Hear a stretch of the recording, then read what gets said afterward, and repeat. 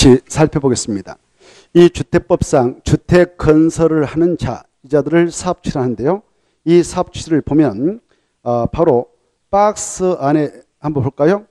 어, 국가 지자체, 한국토동사, 지방사, 그리고 3번 등록한 사업자, 이 자를 약조로 등록사업자를 합니다. 이 등록사업자는 민간업자가 되는 거죠.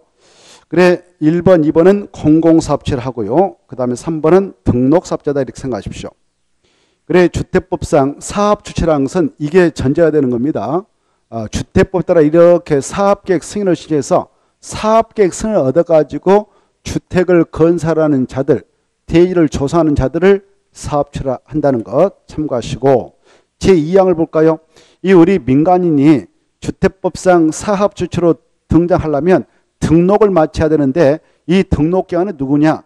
바로 국장이다. 국토교통부장한테 등록을 마쳐야 이 주택법상 이런 사업 주체인 등록사업자로 등장할 수 있습니다. 이때 그자가 1년 동안 사업을 하게 될 때 이 단독택 있지 않습니까? 이 단독택은 몇 호 이상 건설해서 나갈 때는 미리 사업자 등록을 국장한테 해야 되는가? 바로 단독택은 20호입니다. 20호. 20호 이상 1년 동안 건설에 나가고자 한다. 이 공농택도 역시 1년 동안 20세 이상 이렇게 건설하고 싶다. 이런 주택을 건설하기 위한 대의를 1년 동안 1만 정도 이상 조성하고자 한다. 이럴 때는 미리 사업자 등록을 해야 됩니다. 사업자. 다만 이 어, 도시형 생활택 아까 우리가 공부했던 도시형 생활택은 30세대가 그 기준이 돼요. 30세대 이상으로 건설할 때 사업자 등록을 하도록 하고 있습니다. 사업자 등록. 자, 그거 다시 한번 단독택은 원칙 20호, 공동택 20세대, 그리고 대지 1만. 근데 도시형 생활택은 몇 세대 이상인가? 30세대 이상. 이 정도는 보시고, 그 다음에 오른쪽 넘어오시면, 오른쪽 넘어오시면, 바로 박스 안에 있는 6명은 이런 주택법상 사업을 진행해 나갈 때 사업자 등록을 국장한테 할 필요 없습니다.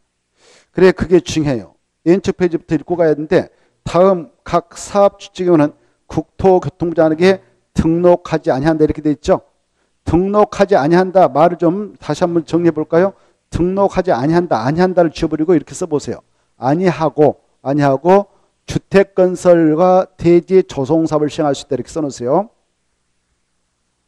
아니한다 그 말 지워버리고 아니하고 그래 국토교통부장한테 등록하지 않고 주택법상 이런 주택 건설 사업과 대지 조성 사업을 할 수 있다 이렇게 써놓으십시오. 오른쪽에 여섯 명을 꼭 아셔야 됩니다. 여섯 명은 바로 비등록 사업자가 되는 겁니다. 국지전공, 아니 국지공, 국, 국지공, 국가하고 지방자치단체하고 한국통사, 지방사, 국지공 하면 되고, 그다음에 공익법인, 그다음에 아까 이 등록을 마쳤던 등록사업자하고 이렇게 지역 직장 주택자비 공동사업을 하면 이 주택자은 공동사업자로 간주되어서 별도로 등록 없이 사업할 수 있다는 거. 고용자는 반드시 등록사업자하고 공동사업 하도록 규정하고 있는데 그때 고용자도 등록사업자하고 공동사업을 하는 관계로 공동사업체가 되어서 별도로 사업자 등록을 하지 않고도 사업을 할 수 있습니다. 그 다음에 넘어가셔서 넘어가시면 한참 넘어가시죠. 넘어가시고 넘어가시면 어디 나오냐.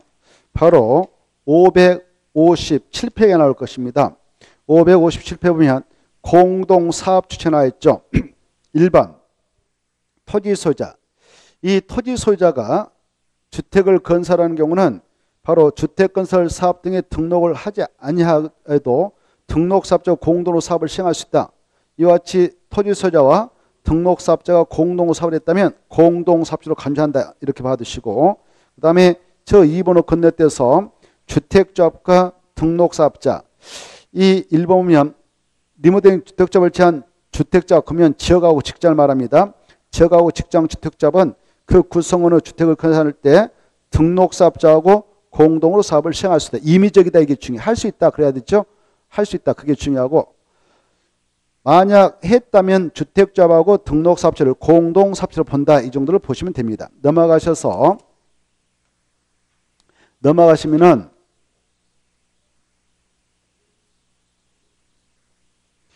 박스 속에 들어가 보세요.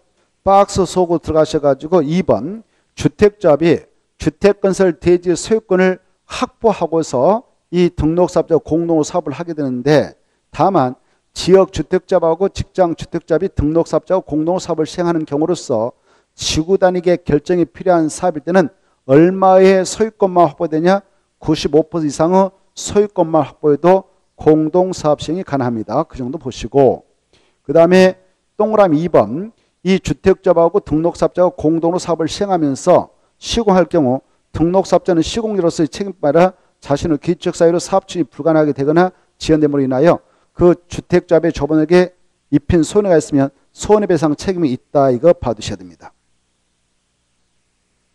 그 다음에 3번도 볼까요? 이 리모델링 주택조합을 취한 지역하고 직장 주택조합이 되겠는데 그 조합과 그 조합의 구성원은 조합원 가입 발선 등 주택조합의 업무를 공동사업 주체인 등록사업자 또는 다음에 해당한 자에게 대행을 하게 할 수 있어요. 누구냐? 저기 니은 하나 봐두세요. 공인중개사법에 따른 중개업자 이 자에게도 어, 지역 직장 주택조합 조합원 가입 알선 등의 업무를 대행케 할 수 있다는 것. 조합원 가입 알선 업무를 대행케 할 수 있습니다. 그래서 중개업자들도 지역 주택조합 직장 주택조합을 결성할 때 조합원 가입 알선을 해서 중개 수수료를 받을 수 있는 겁니다. 3번 고용자가 그 근로자와 주택을 건설하는 경우는 등록 사업자와 공동으로 사업을 시행하야 한다. 이건 의무적입니다. 하야 한다가 중요해요. 양자가 만약 공동을 했다면 양자를 공동 사업체로 본다. 그 정도만 보시고 그 다음에 오른쪽도 모셔서 559쪽 주택조합이 나오는데 이 주택조합에서 꼭 함자가 출제되므로 이 내용을 잘 정리할 필요가 있습니다. 주택조합 하면 먼저 2번부터 보면 돼요. 2번. 1번은 볼 필요 없고 2번 주택조합의 종류 3개가 있다. 명칭, 지역하고 직장하고 리모델링 있다. 이렇게 명칭 봐두시고 여기는 재건축 주택조합 안 들어갑니다. 임대 주택조합도 아닌 겁니다. 세 가지 이름을 정확히 아실까? 지역, 직장, 리모델링. 이때 지역 주택조합이라는 것은 박스 안에 있는 9개 지역이 편지되어 있는데요. 그 지역에 거주하고 있는 주민이 주택을 마련해서 설립한 조합입니다. 이때 기억 세 가지가 하나 지역을 보는 거예요. 서울, 인천, 경기도, 대전, 충남, 세종도 하나, 충북은 하나, 강주하고 전남 하나, 그리고 전라북도 하나, 대구하고 경상북도 하나, 부산, 울산, 경상남도 하나, 강원도 하나, 제주특별자도 하나 해서 아홉 가지 지역으로 편제하고 있습니다. 그 지역적 범위를 좀 잘 봐두시고 직장 주택자 보면 같은 때의 근로자가 주택을 마련하게 설립한 조합이다. 리모델 주택자 특히 단독택이 아니라 공동택 소유자 그다 포인트 잡고 리모델에서 설립한 조합이다 이렇게 돼 있죠. 이 주택조합은 좀 중요하니까 꼼꼼하게 잘 정리를 할 필요가 있어요. 밑에 보면 지역하고 직장 주택조합을 설립한다. 그럴 때에는 많은 수의 주성원이 주택을 그때 주택이란 것은 주택법상 사업계획서를 받아 건설한 주택을 말하는데요. 그 주택을 마련하기 위해서 그 주택조합을 설립하고자 할 때는 관할 시장으로서 구청할 때 인가가 된다 이렇게 이때 이렇게 주택을 마련하기 위해서 지역하고 직장 주택자부 설립인가를 받으려면 해당 주택건설 대지의 80% 이상의 대지 사용권을 확보해서 내야 됩니다. 인가받은 내용을 변경하거나 해산할 때도 변경인가 해산인가 받아야 한다 이것도 받으십시오. 그런데 이 직장 주택자분요 신고만 하고도 설립할 수 있는 경우가 있어요.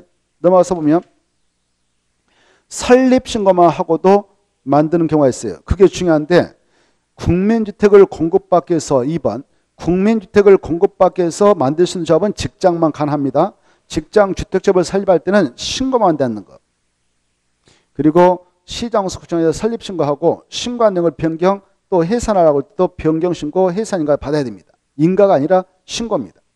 그리고 아까 위로 올라가서 보면은 제일로 첫째 줄 공동택을 리모델하게 하여 리모델 주택조합을 설립한다.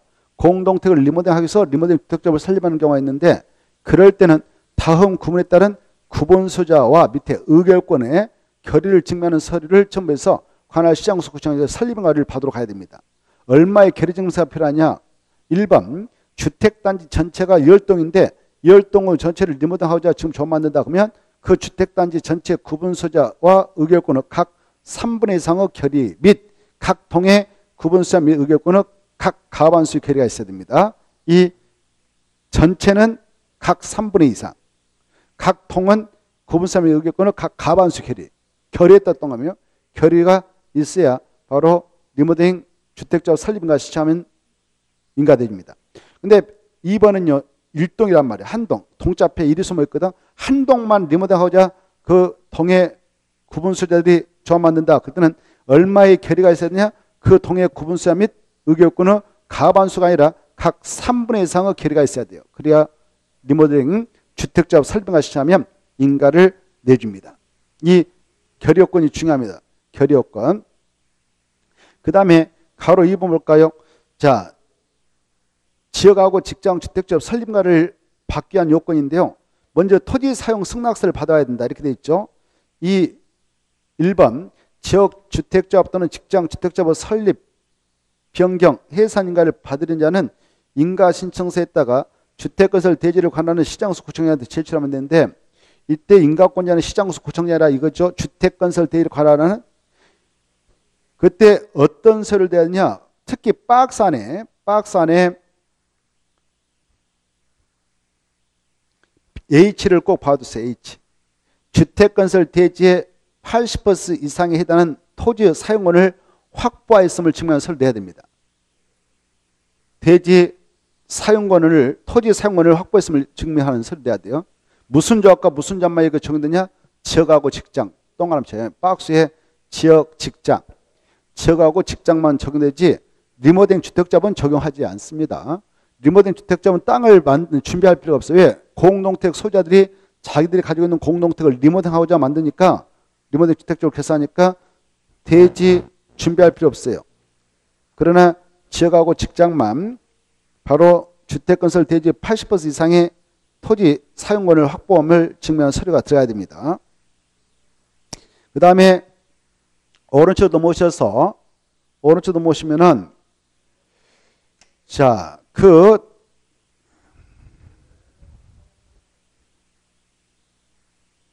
1-2번 봐보세요.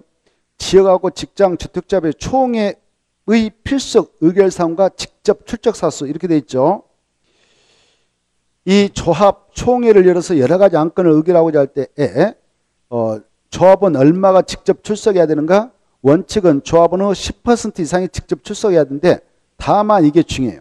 창립총회를 개최한다 하나 그리고 박스 안에 있는 사항을 의결하는 총회 경우는 조합은 20% 이상이 직접 출석해야 총회를 개최할 수 있다는 거. 조합 규약을 변경한다 하나 그리고 바로 이 차, 자금의 차입 그 방법, 이자율, 상한무 이걸 결정하려고 한다. 그리고 5번, 5번 조합 임원을 선임하고 힘하려고 한다. 이때 이 정도 좀 봐주세요. 이런 건을 처리하고자 바로 이 총회를 개최할 때는 조합은 20% 이상이 직접 출석해야 된다. 조합 임원의 선임과 해임 그거 받으시고 그 다음에 동그란 2번 조합원 수가 있죠. 지역하고 직장 주택잡의 조합원 수는 얼마인가 리모델 주택잡 빼놓고요.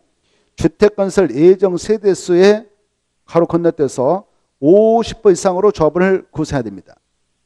주택건설 예정 세대수가 만약 1000세대다 그러면 최소한도 그 500명 이상의 조합원을 모집해야 된다 그 말이죠. 이때 아무리 적게 모집해도 20명 이상은 돼야 됩니다. 20명 이상은 돼야 된다. 이때 이 조합원 수와 관련해서 가로 안의 말도 좀 읽어둘 필요가 있는데요. 조합 설립 인가 당시의 사업계획서상 주택 건설 예정 세대수를 말한다.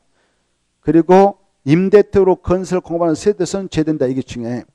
분양을 하게 될 세대수를 기준해서 분양을 하게 될 세대수가 천세대면 천세대의 50% 이상으로 조합을 구성해라. 어, 분양주택이 천세대, 임대택이 200세대, 그래서 1200세대의 단지를 조성한다.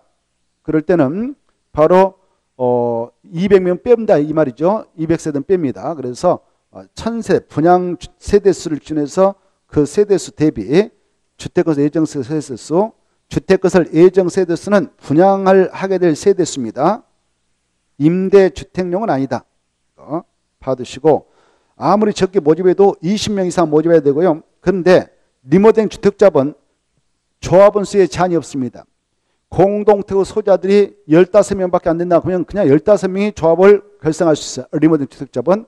그래서 리모델링 주택자본 꼭 20명 이상 모집할 필요 없다. 이것도 이해해 두시면 좋겠고 넘어가서 보시면은 어 2번 리모델링 주택자배 가지고 1.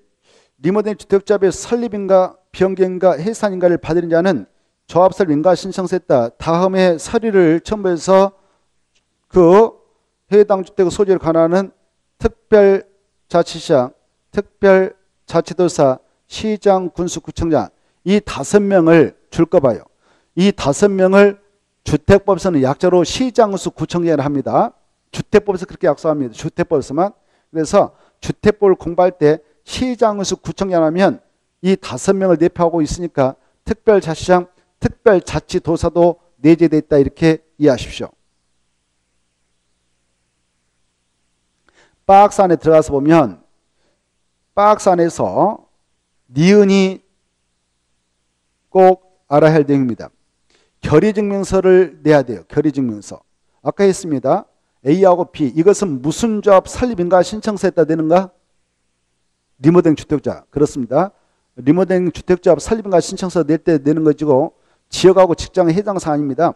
A, B 아까 했으니까 꼭 읽어두시고 또 어떤 걸 체크하냐면은 리을, 리을 해당 주택이 즉 해당 공동택이죠.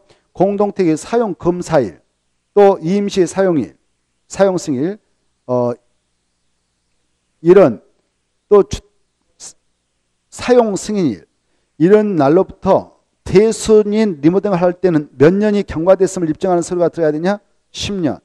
증축인 리모델링 할 때는 15년. 아까 했죠. 자, 경관수가 찼음을 입증할 수 있는 서류가 들어야 돼요. 다만 15년 이상 20년 미만의 연수 중 시도 조례로 정하는 경우는 그 연수가 어, 지났음을 입증하는 서류가 들어야 됩니다. 이러한 서류는 무슨 조합 설립인가 신청서를 낼 때만 첨부해서 되는가? 리모델링 주택조합 설립인가 신청서 낼 때만 필요하다 이렇게 받으시고 그 다음에 동그라미 2번 리모델링 주택조합의 설립에 동의한 자로부터 건축물 취득했다. 즉 지금 리모델링 주택조합을 결성하고자 A 단지에서 바로 조합설 인가를 받아가고자 바로 결의증명서 동의를 받아냈습니다. 근데 동의를 했던 사람이 바로 다른 사람한테 그 소유권을 넘겨주고 가버렸네요. 그러면 넘겨받은 사람은 조합 설립에 동의한 걸 보느냐 동의하지 않는 걸 보냐 그 동의 효력도 이전서 인정돼서 동의한 걸로 간주하겠다는 것이죠. 리모델링 주택자부 설립에 동의한 자로부터 건축물을 취득한 자는 조합 설립에 동의한 걸로 간주가 됩니다. 그 다음에 밑으로 내려가셔서 통과해도 되겠고 어느 쪽 넘으면 자 쭉 내려갑시다. 내려가서 보면은 4번이 나올 거예요. 주택 조합의 조합은 자격권. 자, 이것은 좀 중요한 파트죠. 주택조합의 조합원이 될 수 있는 사람은 다음 사업을 한다. 다만 조합원 사망으로 그때 체크. 조합원 사망으로 그 지위를 상속받은 자는 다음 각호 요건에도 불구하고 조합이 될 수 있다. 이 조합원 사망으로 그 지위를 상속받은 자는 이유 불문하고 조합이 됩니다. 이유 불문하고 즉 아버지가 조합원이었는데 돌아가셨습니다. 자식이 상속을 받았습니다. 그러면 그 자식은 그 어떤 요건을 따지 않고 무조건 조합원을 인정을 해줍니다. 거기 써놨죠. 조합원 사망으로 그 지위를 상속받은 자는 조합원 자격권을 필요로 하지 않고 무조건 조합이 될 수 있다. 이게 아주 중요합니다. 자, 그 다음에 이제 밑에 지역 주택조합의 조합원 자격권은 다음에 가로 1, 2호건을 모두 갖춘 자인데 1번과 2번을 동시에 갖추고 있어야 지역 주택조합의 조합이 될 수 있다 이겁니다. 묶어버리세요. 가로 1번과 2번. 그래 2번을 먼저 보면 동일한 지역에 6개월 이상 거주한 자일 것. 이게 첫째 조건이 되겠습니다. 오늘 조합 설립인가 신청을 하려고 할 때 오늘부터 소급해서 그 지역에 몇 개월 이상 계속 거주한 지역 주민이었냐? 6개월. 찾았나요? 6개월. 그리고 다시 앞으로 가셔서 그 6개월 이상 살아왔던 그 지역 주민인데 주택이 하나도 없는 무주택자이거나 85제곱미터 이하인 주택 한 채를 가지고 있는 그런 세대주인 자도 들어올 수가 있습니다. 가를 보면 무주택자이거나 85제곱미터 이하인 주택 한 채를 소유한 세대주이면 지역 주택자의 조합원 자격이 주어집니다. 자, 그 정도 보시고 그래서 여기서 조합선 85제곱미터 이하인 주택 한 채를 가지고 있는 자는 지역 주택자비 조합이 될 수 없다. 그러면 틀립니다. 85제곱미터 수치 꼭 기하시고 그 수치 자, 그 다음에 넘어가셔서 넘어가셔서 보면 564페이지 564회 보면 가로 2번이 나와 있죠. 직장 주택자의 저번 자격권 해가지고 가로 1번, 2번 이것도 동시효권이니까 묶어서 먼저 같은 2번 보면 같은 지역의 동일한 직장에 근무한 자일 것. 예컨대 국가공무원이다, 지자체 공무원이다, 어떤 회사에 근무하고 있는 같은 근로자다. 이런 같은 직장에 근무하고 있는 근로자일 것. 첫째 조건이. 그 다음에 1번. 주택이 하나도 없는 무주택자인 근로자도 들어올 수 있고 여기 85종대한 주택 한 채를 가지고 있는 세대주도 직장 주택자를 결성할 때 조합이 될 수 있습니다. 그런데 이 단서가 또 중요해요. 직장 주택자본 두 가지 경우 수가 있어요. 주택법상 사업계획서를 받아서 건설한 주택을 마련하고자 바로 직장 주택을 결성할 때도 있고요. 그럴 때는 관할 시장 소 구청장한테 설립인가 신청서 내서 인가받아야 조합을 만들 수 있습니다. 그럴 때는 그 직장에 가등자에 근무하고 있는 근로자서 무주택자인 근로자뿐만 아니라 85 종대 이하인 주택 한 채를 소유하고 있는 근로자도 가입할 수 있지만 국민주택을 공급받기 위해서 설립할 수도 있어요.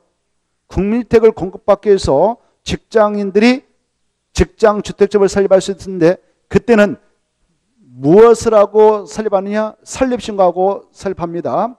그때 설립신고하고 그 직장 주택점을 설립할 때는 누가 조합이 될수 있냐? 아까 국민주택이라고 하는 것은 무주택 세대원만 공급을 받아갈 수 있다고 그랬잖아요. 그에 근거하여 무주택자만 들어올 수 있지 유주택자는 절대 그 경우 직장 주택자의 조합이 될 수 없습니다. 그걸 꼭 알아주십시오. 궁택을 공급받게 하여 설립 신고하고 설립하는 직장 주택자의 경우는 무주택자만 가입이 허용된다. 3번 보겠습니다. 리모델링 주택자의 조합은 자격요건이 나있죠. 리모델링 주택자의 조합은 다음 어느 하나에 해당하면 돼요. 오른쪽 보면 공동택 소유자 오른쪽 박스 안에 보면 당연하죠. 지금 그 공동 이게 공동택이다. 여기서 지금 리모델링 하려고 리모델링 주택자를 만들었다 그러면 이 공동택 소유자가 당연히 되는 거죠. 그리고 만약 그 단지에 아파트 단지에 복리스는 유치원 건물, 상가 건물 이런 것들 다 걸린 상황으로서 바로 어, 복리스인데 복리스까지 함께 리모델링을 하겠다라고 리모델링 주택자 만들었다면 복리 시설 소유도 되는 것입니다. 그 정도는 보시고 다시 N 들어가 보세요. 이 경우 해당 공동택이라든가 복리스 소유권이 수인호 공유소였다. 그때는 그 여러 명을 대표하는 한 명만 처분을 한다.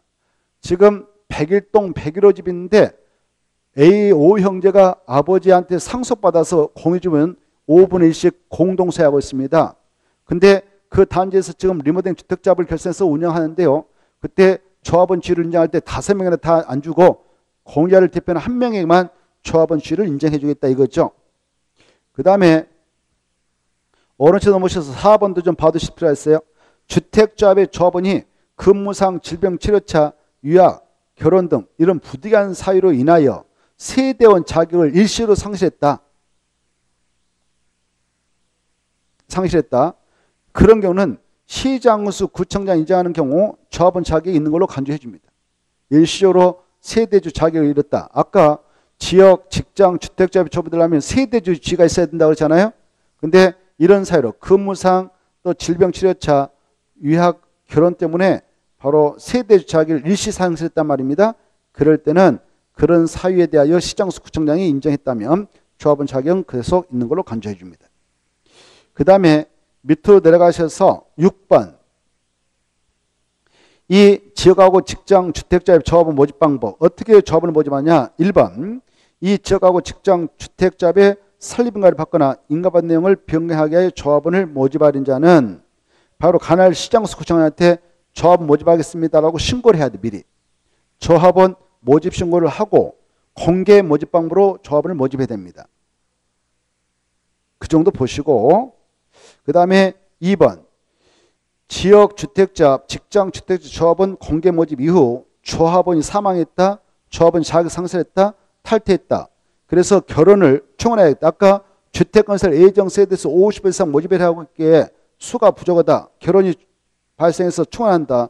미달된 조합원을 재모집하려고 한다. 그럴 때는 다시 모집합니다라고 또 신고할 필요는 없다. 조합 모집 신고는 할 필요 없다. 거기 결혼을 충원한다. 그따 줄 거예요. 공개 모집 이후 결혼 충원 미달된 조합을 재모집했다 체크.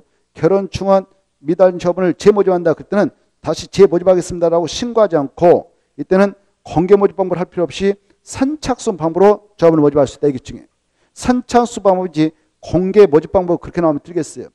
공개 모집 방법이라 선착순 방법.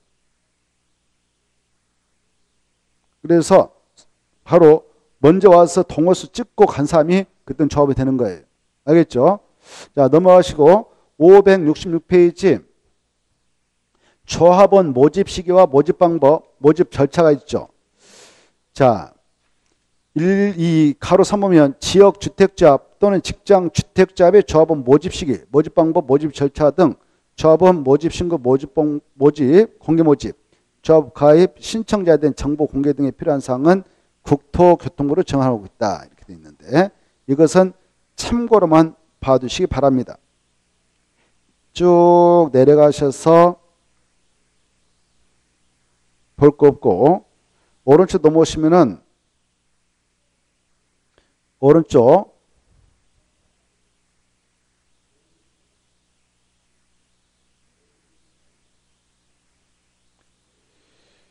자,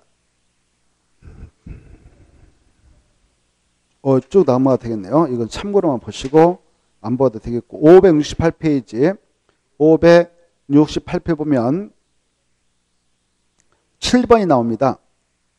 7번을 보시면 지역, 직장, 주택, 조합, 조합번호, 교체, 신규 가입 이 파트는 좀 몇 개 중요한 게 있으니까 가로 1번 지역, 주택, 조합하고 직장, 주택 두 가지입니다. 두 가지를 딱 포인트 잡고 두 가지 조합은 조합설 인가를 받았다. 조합설 인가만 받으면 여기는 등기 없이 조합이 성립되는 거예요. 주택법은 그렇습니다. 그래 설립인가 받으면 바로 조합은 성립됩니다. 이렇게 조합설 인가를 받은 후에는 해당 조합원을 교체하거나 신규로 가입하게 할 수 없습니다. 중요해요. 언제부터 이렇게 규제가 있느냐? 설립인가를 받은 후부터. 설립인가를 받은 후부터는 조합원을 함부로 교체할 수 없고 신규로 가입하게 할 수 없습니다. 다만 오른쪽의 경우는 예주로 허용됩니다. 어떤 거냐? 2번, 3번이죠. 2번, 3번의 경우는 허용된다. 자, 2번 보면 조합원 수가 주택건설 예정세대수 초과하지 않은 범위에서 아까 주택건설 예정세대가 1000세대다. 그러면 1000세대 50% 이상 조합을 모집이라고 그랬죠. 500명 이상. 그래 1000세대를 건설하게 될 때 그 1000세대를 초과하는 범위 내에서 시장 구청장부터 조합원 추가 모집 승인을 받았다. 그런 경우는 조합원을 추가로 모집할 수도 있다. 승인 받으면 그리고 조합원 추가 모집 승인과 추가 모집에 따른 조합 변경 인가 신청은 언제까지만 하면 되냐? 사업계 승인 신청일까지. 이 조합이 조합설 인가 받으면 성립됩니다. 주택자원 그래요. 그날부터 몇 년에 사업계획 승인을 신청해야 되냐? 2년에 신청해야 되거든요. 그 때 가서 이 추가 모집에 관한 조합 변경 인가 신청하면 된다 그 말입니다. 추가 모집 승인하고 추가 모집에 따른 조합 변경 인가 신청은 바로 사업 계획 승인 신청까지만 하면 된다. 그 다음에 2번 조합원을 충원 시에도 가능한데요.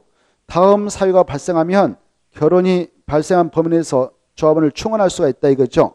조합원이 사망했다. 그리고 사업계획 승인 이후 거기 체크해.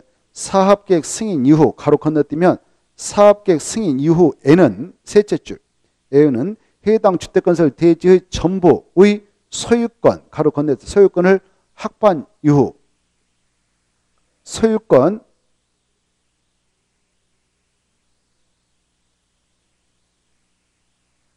사업계획 승인을 받은 이후 이후 사업계획 승인을 받은 경우에는 해당 주택건설 대지 전부 소유권을 확보한 이후를 말하는데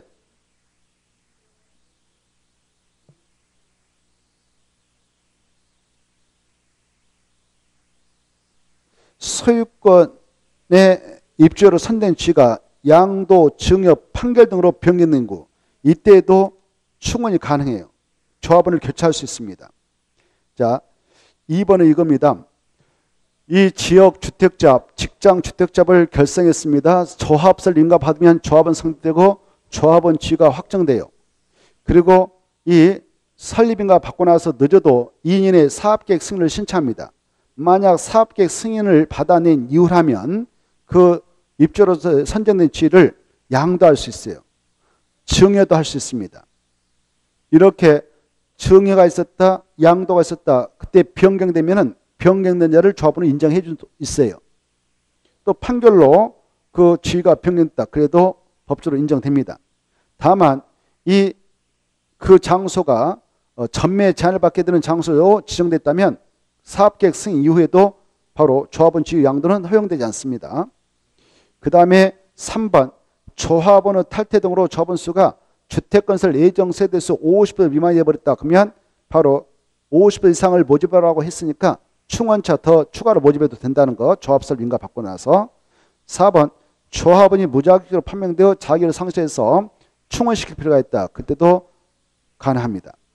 그 다음에 5번 사합계획 승인 과정 속에서 주택건설 예정 세대수가 변경되어 조합원 수가 변경된 세대수 50% 미만밖에 안 됐다 그러면 50% 이상을 모집해라고 했으니까 더 충원할 수도 있습니다.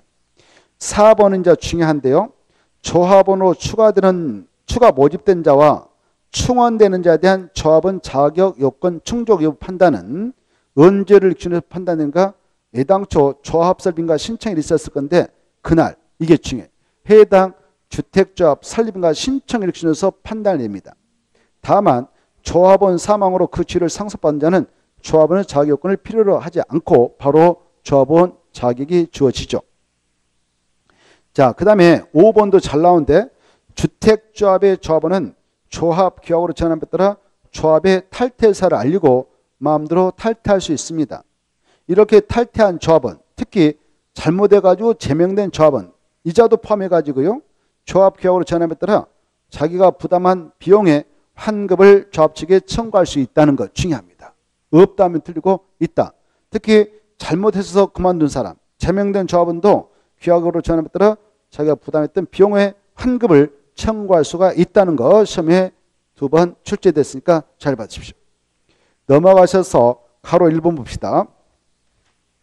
1번 보면은 자 이것도 꼭 아셔야 돼요. 아까 했는데 주택조합은 설립인가를 받은 날부터 몇 년의 사업계획서를 신청하도록 됐는가? 2년.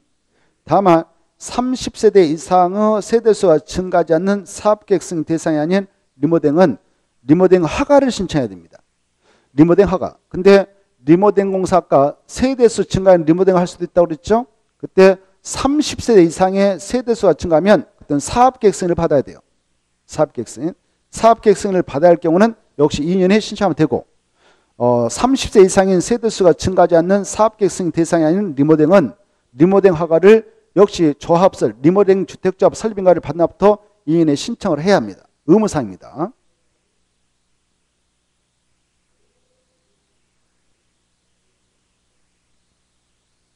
자, 그 다음에 2번도 좀 봐두셔야 돼요.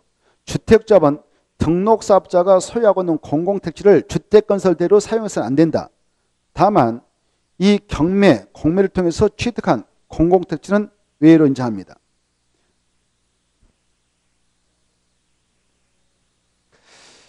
자, 그 다음에 나머지는 어, 가로 3번도 좀 봐두셔야겠어요. 지역하고 직장 주택조합은 그 구성을 위하여 건설한 주택을 그 조합원에 우선 공급할 수 있다. 특히 설립신고 대상인 직장 주택조합에 대해서는 이 주택법선 사업체가 군택을 건설 공고할 때 그 직장 주택 자본에게 우선 공급할 수 있다라는 거 봐두시고 그 다음에 가로 4번은 꼭 읽어두시 아까 했으니까 반복되고 있습니다. 그 다음에 오른쪽 넘어오셔서 오른쪽 넘어오시면 통과해도 되겠고 넘어가셔서 572페이지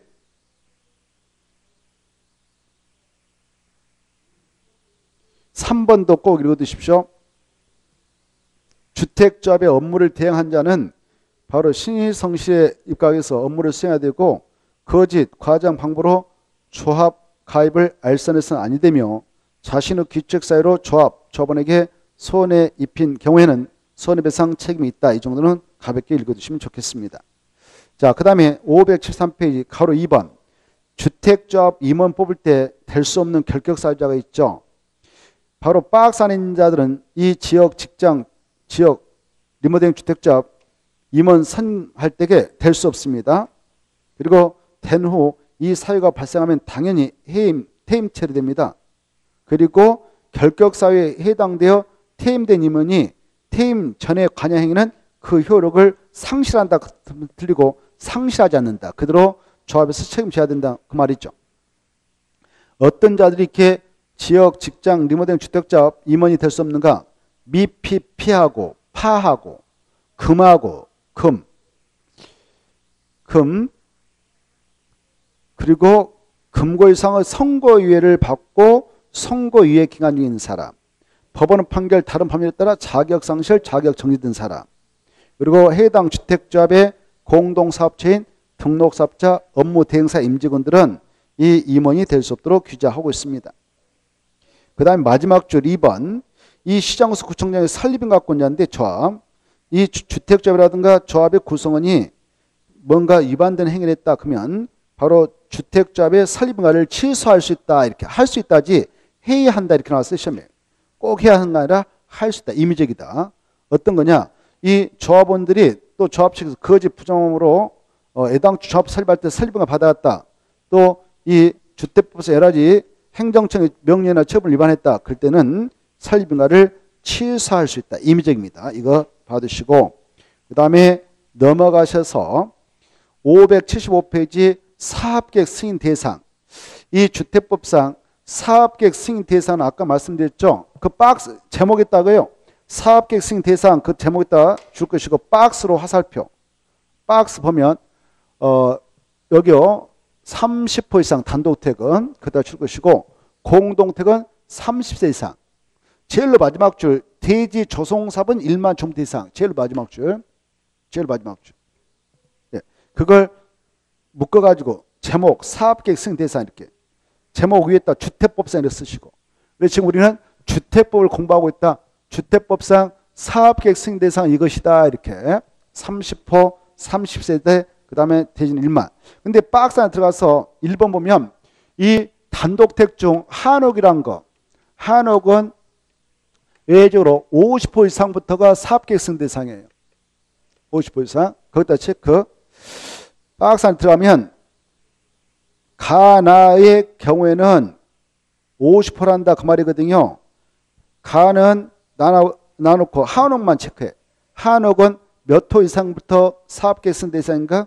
50%. 이 정도만 시험권으로 딱 봐두십시오. 그게 한번 기출된 바 있습니다.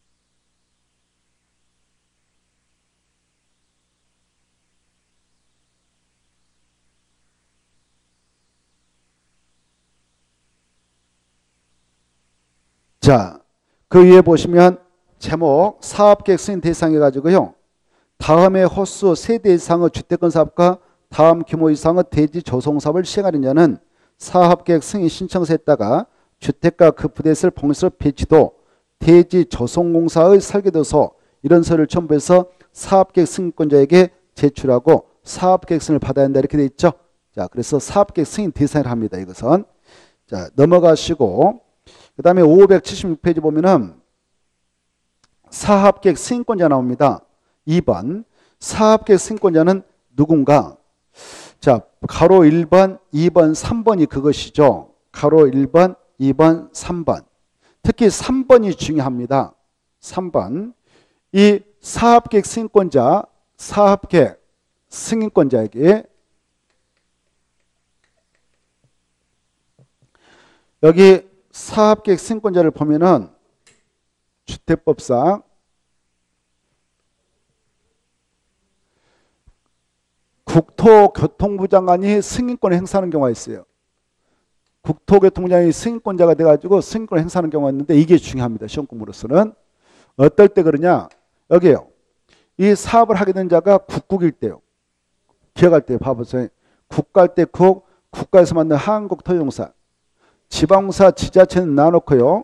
이거 두 명 꼭 암기해야 돼. 국가하고 한국토용사가 사업체가 되어서 사업을 나온다. 그때는 그 사업장이 전 국토 어느 장소에 됐든 국토교통부한테 사업계획 승인 시에서 승인받아야 됩니다. 그리고 또 어떨 때도 국토교통부한테 가서 승인받아야 되냐?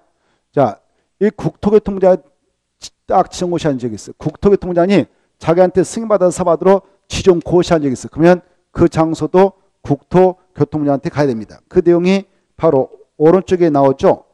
3번하고 2번.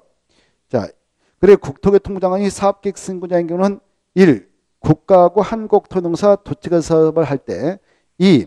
330만 주택 이상의 규모로 택지발 사업, 도시발 사업을 추진하는 지역 중 그 다음에 중에 국토교통부 장관이 지정 고시한 지역에서 주택건 사업을 시행할 때 3. 수도권 광역시 지역에 긴급한 주택난 해소가 필요하거나 지역 균형개발 광역적 자원의 조정이 필요하여 그 다음에 줄 국토교통부장이 지정 고시한 지역에서 주택건 사업을 시행할 때 그게 키포인트예요. 국토교통부 장관이 지정 고시했다. 그때는 국토교통부 장한테 승인받으야 됩니다. 4번도 꼭 받으셔야 돼요. 이 국지공, 국가지자체, 한국토동사, 지방사 이네들이 단독, 이네들이 공동으로 총 지분 50%를 초과하여 출자한 부동산 투자회사가 바로 사업을 시행한다. 공공주택 건설 사업을 시행한다. 그럴 때도 가서 국장한테 승인받아야 됩니다. 국토교통부장한테 승인을 받도록 되어 있다. 이거 받으십시오. 그리고 나머지는 통과해도 되겠습니다. 자, 그리고 말이죠. 이제 금방 이 다섯 가지 경우는 국토교통부장한테 가서 승인받는데 나머지는요. 여기 사업을 하게 되는 경우 그 규모에 따라서 여기요. 주택건설 사업을 하려고 하는 대지 면적이 있다. 또 대지 조성 사업을 하고자 하는 대지 면적이 있다. 그 대지 면적이 10만 제곱미터 이상이냐 10만 제곱미터 미만에 따라서 바로 지자체장한테 사업계획 승인을 받는 경우가 있는데요. 그때 사업을 하게 되는 장소에 따라 승인권자를 좀 이해할 필요가 있어요. 이 사업을 하고자 하는 지역이 서울특별시다 그러면 무조건 특별시한테 갑니다. 이상이든 미만이든. 구청장한테 가는 거 아니에요. 서울특별시에서 무조건 특별시장이 승인권자다 이렇게 하시고 아까 국장한테 승인받는 거 빼고요. 근데 말입니다. 서울특별시에서 이 바로 특별시한테 사업계획 승 받아서 공사 진행했고 공사 끝난 후 사용검사를 받게 될 때는요. 사용검사는 구청장이 다 행사하고 있다 이렇게 하셔요. 사용검사는 구청장.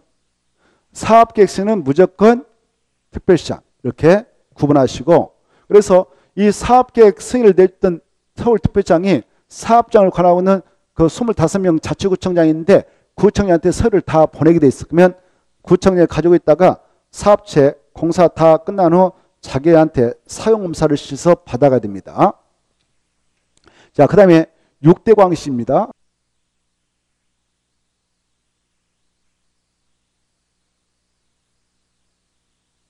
강 울 자 인천, 부산, 대구, 울산, 대전, 강주 이 여섯 가지 광역시에서도요. 광역시장이 무조건 승인권자가 돼요. 광역시장이 승인권자인데 공사 다 끝나고 나서 검사 내줄 수 있도록 그 서류를 승인 고시하고 보내줍니다. 보내주고 구청장이 가지고 있다가 사용검사는 구청장한테 받도록 하고 있다는 것 알아주십시오. 그리고 광역시 내 군에서는 군수가 사용검사권을 쥐고 있습니다. 그 다음에 저기 세종특별자치 세종특별자치시에서는 이 특별자치장이 승인도 자기가 내주고 공사 끝나고 나서 그 사용검사도 자기가 다 내줘요. 제주도도 똑같습니다. 특별 자치도에서는 이 기초 자치단체이 없으니까 여기 두 군데는 이 광역 자치단체이 바로 승인과 검사, 사용검사 다 내줘요.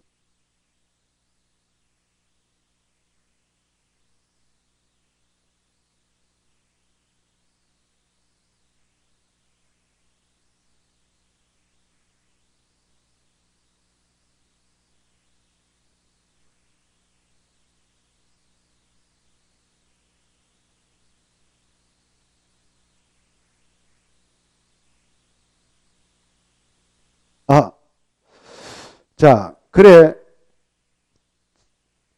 그래서 이 도에서는요, 대도시에서는 대도시장이 승인과 검사, 사용검사를 다 내주고요. 인구 50만 미만인 대도시가 아닌 시에서는 이 시장 군수는 바로 이런 일을 합니다. 자, 여기에서만 차이가 있어요. 이 사업 규모가 10만 정도 이상이다 그러면 이 시와 군에선 시장 군수가 승인권을 행사하지 못하고 도산태 가야 돼요. 도산태 10만 정도 이상은 10만 정도 이상 사업이다. 그때는 도사한테 가서 승인받고 승인 내렸던 이 도사가 각각 시장 군수한테 그 서류를 보내면 시장 군수가 가지고 있다가 사용검사를 내줘요. 사용검사. 그런데 그 사업의 규모가 10만 정도 미만이다. 10만 정부터 미만이다. 그러면 그냥 이 시장 군수가 승인과 검사를 다 내주고 있어요. 이렇게. 이걸 잘 이해해 두십시오. 그 내용이 바로 가로 1번과 2번이에요. 가로 1번과 2번을 이해하면 그런 식으로 이해할 수 있어요. 그거 읽어 두시고